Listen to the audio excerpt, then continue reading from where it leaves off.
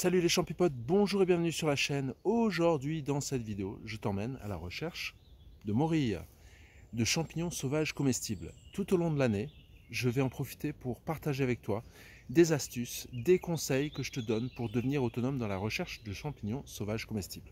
Donc si tu es nouveau sur la chaîne, n'hésite pas à mettre un pouce bleu, un commentaire, à t'abonner, activer la cloche et dès que j'ai un moment, j'interagis avec toi. Je te souhaite un bon visionnage. Et une fois de plus, n'hésite pas à regarder cette vidéo jusqu'au bout parce que je montre mes découvertes au gré de mes pas. Donc, en principe, le déroulement de la vidéo, on rentre dans la forêt, on fait les découvertes au fur et à mesure qu'on avance. Celle-ci, tu verras, elle se situe à peu près vers les deux tiers de la vidéo. Bon visionnage.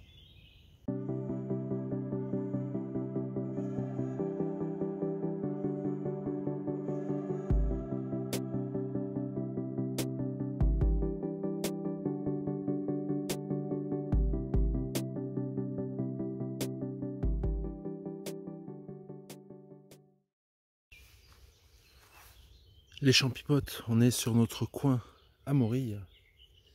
La première règle qu'il faut vraiment respecter quand vous allez sur votre coin à Morille, vous prenez les 5 minutes. Vous écoutez, vous observez et vous regardez bien qu'il n'y ait personne dans un périmètre assez important.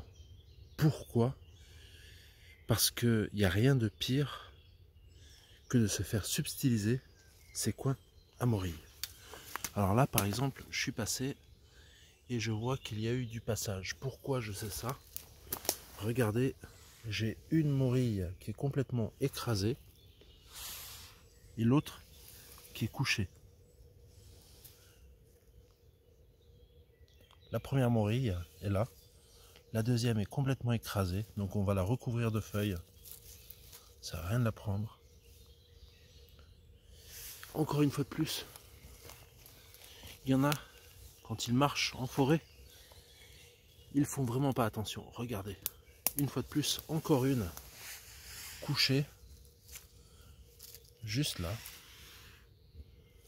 Belle morille. Elle a poussé sur le côté. On dirait qu'elle a été coupée une première fois, mais non. C'est qu'elle a été renversée par d'autres morieurs.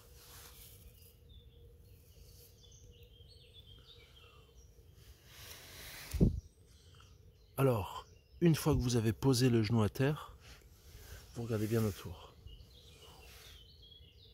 On est dans un coin propice Regardez la végétation. Lierre, débris morts. On a du cerisier en grappe qui est en train de pousser. On a du noisetier, du frêne, un peu malade. On a nos escargots un peu là-bas. On arrive à voir juste là-bas. Et j'avoue que c'est particulièrement plaisant parce qu'on a du silence. Alors là, je vous emmène. Juste là, il y a une autre morille. C'est la troisième. Ça va être assez compliqué, je pense, sur ce coin, de pouvoir faire une belle cueillette. Parce que c'est un coin où il y a énormément de passages.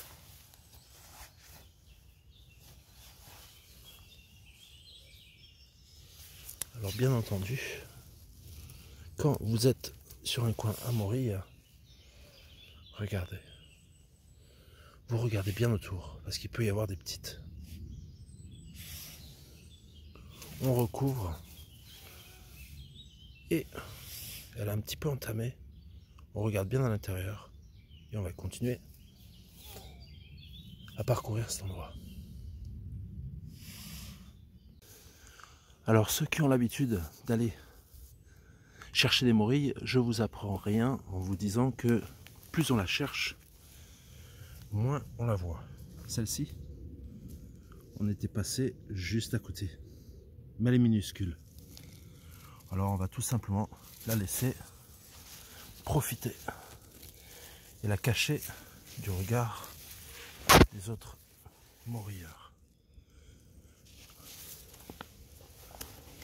Alors c'est une maigre récolte, mais c'est pas grave parce que le plus important c'est justement de faire un tour sur ces places, de voir où en est la forêt, comment progresse cette saloperie de chalarose et s'oxygéner en forêt.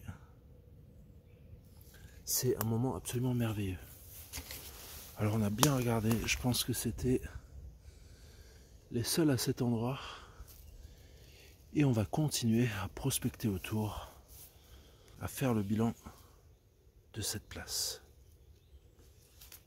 Les précautions à prendre quand vous parcourez ce genre d'habitat, bien entendu, comme je vous le dis toujours, une fois dans la voiture, ou avant même de monter dans la voiture, changez-vous. Enlevez ces vêtements parce que il y a beaucoup de chances de se retrouver avec des indésirables accrochés sur vous ou vos vêtements et vous pourriez contaminer d'autres personnes autour de vous, c'est-à-dire les tiques. Les tiques, vous avez toutes sortes de bêtes en forêt qui justement appartiennent à la forêt. Donc si vous pouvez, changez-vous, secouez vos vêtements à proximité. Comme ça, vous laissez tout sur place. Alors un dernier petit tour autour visuel. Je pense qu'on a fait ce coin qui a déjà été visité comme vous aviez vu. Et on va passer à l'endroit suivant. Alors quand vous allez au Morille, une fois que vous avez visité vos coins, c'est toujours bien d'élargir. Là j'ai un indice. C'est un pied de morille. N'a pas été coupé. Je pense que quelqu'un a dû marcher dedans par erreur. Mais ça reste un indice. Donc nous on va tout simplement le mettre là-dedans. Et on sait qu'on est sur un coin. Alors qu'est-ce qu'on a? On a du cerisier en grappe. On a de la ficaire, on a du lierre, j'ai vu tout à l'heure quelques violettes. On a vraiment un endroit très prometteur pour les saisons à venir. Même si on peut se dire qu'il y a beaucoup de bois mort au sol. Après, les années suivantes, on ne sait pas ce que ça va donner. Petite plante encore. Un bon marqueur. La muscarie. Juste là. Donc, on va vraiment élargir notre cercle on peut voir que ces morilles étaient déjà bien avancées, donc il est fort possible qu'on tombe que sur des vieux spécimens. Mais c'est toujours intéressant de tomber sur les vieux spécimens. Pourquoi? Parce que l'année suivante, vous savez que vous pouvez revenir aux mêmes endroits. Donc vous pouvez rajouter un endroit de plus sur votre liste. Et là, juste là, ça c'est du direct. Je m'y attendais pas. En vous parlant, franchement, c'était pas calculé du tout. Alors quand je vous dis que certains endroits sont des coins à Morille, c'est pas pour rien. Regardez ça, je suis trop content. La découverte en live, faut vraiment avoir l'œil. Alors je vais vraiment prospecter cet endroit. Et là, à côté, qu'est-ce qu'on a? Le Méloé printanier. Oh là là, super, super, trop content. Bon signe. Les champipotes, on va la prélever. C'était vraiment une belle découverte en live. Aucun trucage. C'est pour ça, souvent, je parcours les endroits. Au fur et à mesure, je donne des conseils. Et on fait nos découvertes ensemble. Alors, certains les arrachent moi je le déconseille. Vous pouvez tout simplement la couper.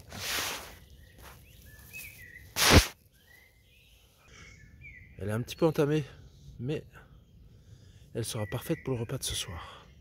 Soufflez dans les alvéoles. Ça peut être que du positif. Et puis voilà. Alors certains les arrachent, certains les coupent, certains les pincent. Moi, je les coupe. Elle va les rejoindre, les autres mourir. On recouvre l'endroit et on va chercher autour. On s'est avancé un peu plus loin dans le bois. Et regardez, juste là. Un sacré spécimen. On va les prendre le couteau pour la prélever. Je regarde autour tranquillement pour voir s'il n'y en a pas d'autres. Là, c'est une des raisons pour laquelle maintenant vous allez facilement trouver les coins parce que cette couleur jaune, comme vous pouvez voir, regardez ça, juste là, vous pouvez pas louper ça. Cette forme d'alvéole, cette couleur jaune, assez dorée, on est une fois de plus ficaire, frêne, violette, tout est là, tous les indices sont là. On s'installe, on va chercher le couteau. Alors j'entends des bruits dans la forêt peut-être des animaux. Mais on va continuer. On la prend quand même. On va voir dans quel état elle est. Et peut-être qu'on fera un slurry de morille. Je vous expliquerai.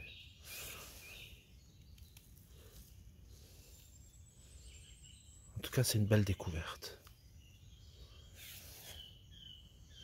Comme dit toujours, prenez ce petit moment ne cherchez pas à courir quand vous êtes au Morille. C'est un moment, vous, avec la forêt. Donc vous écoutez ce qui se passe autour de vous. Peut-être que vous entendrez le coucou. Ça aussi, c'est un signe. Un signe pour vous donner euh, le feu vert, peut-être pour le Morille. Peut-être que vous entendrez justement des êtres humains ou des chiens. Et là, c'est le moment de commencer à faire profil bas. Mais le plus important donc, c'est de marcher doucement et de prendre son temps quand on va au mourir. Les champipotes, je suis content. Ça y est, DS Morille est avec moi. Regardez, on en a une juste là. Juste là. Et après, je vous emmène deux de plus ici. Trop content. On dérange sans trop déranger. Elles sont là. Donc, la première blonde m'a indiqué l'endroit. Et là, je suis super content. 4. 4 sur un petit coin franchement, là, on est, on est au top. Allez, on va s'installer, faire quelques petites photos parce que moi j'adore faire les photos. Et puis euh, on va les cueillir juste après.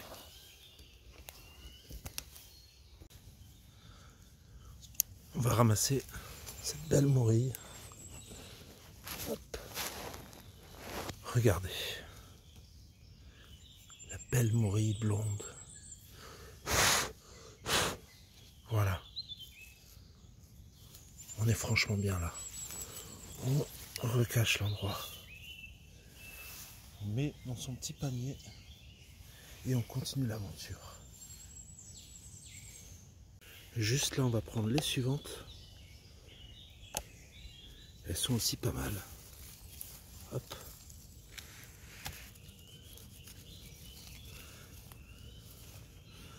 juste là.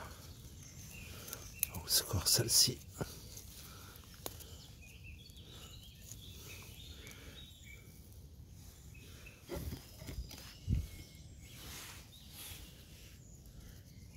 Bien fraîche celle-ci.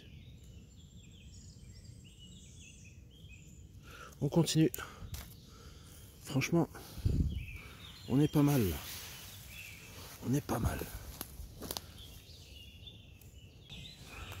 regardez sur ce petit coin, juste là, ces trois morilles.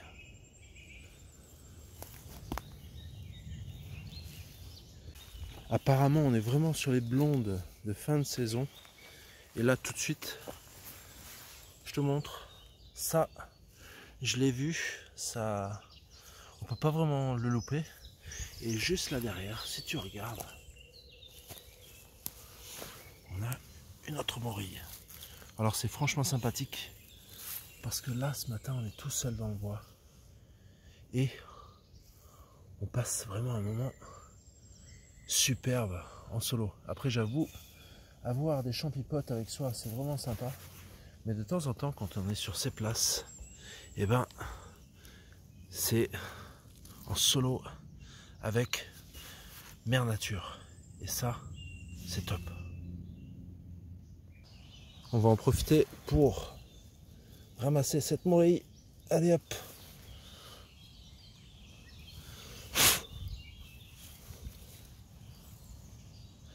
Alors toujours les cueillir à maturité, ça ne sert à rien de les prendre trop petites. Ça vous permettra justement de pouvoir revenir les années suivantes et de pérenniser vos coins à morille. Je sais que l'excitation est grande de pouvoir les ramasser, de les cueillir, mais ça ne sert à rien. Cachez-les au pire. On continue cette belle sortie. Ça fait un petit moment que je marche et euh, j'avoue qu'on se dirige tout doucement vers la fin de cette sortie. Et euh, là, vous allez voir un petit point jaune juste là-bas, juste là. Vous savez exactement ce que c'est. Alors on va aller voir ensemble. Ça a l'air sympa. Une zone que j'avais pas parcourue. Nouvelle zone, inconnue. Donc on va aller voir. Et hop, c'est parti. Alors, quand vous êtes en forêt, faites super attention quand vous passez sous les arbres, comme ceci. On ne sait jamais.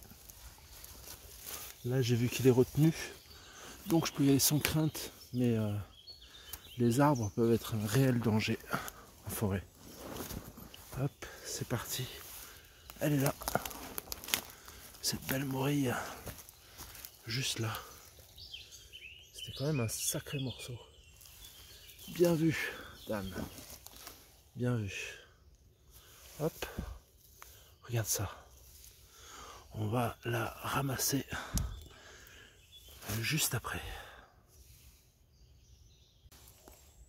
Alors bien entendu, on fait super attention où on pose les pieds, les genoux, le panier même.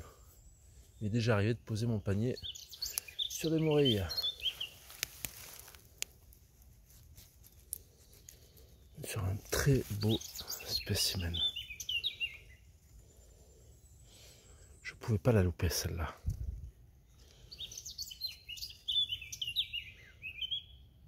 Ça fait plaisir. Juste là. Hop.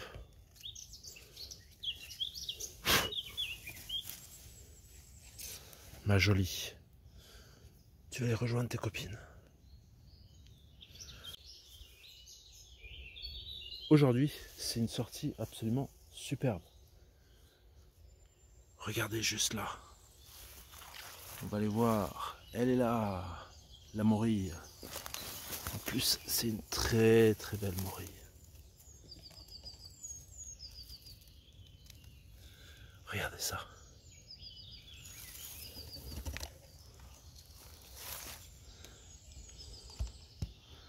Allez, on va la prélever tout à l'heure. Là, les champipotes, ça fait sacrément du bien. Allez, c'est le moment. On va prélever ce joli stuc. Juste là. C'est parti. Hop. Il a un sacré pied. Alors, cette fois-ci, j'ai vraiment envie de le sortir Regardez ce morceau. Il est dans les branches.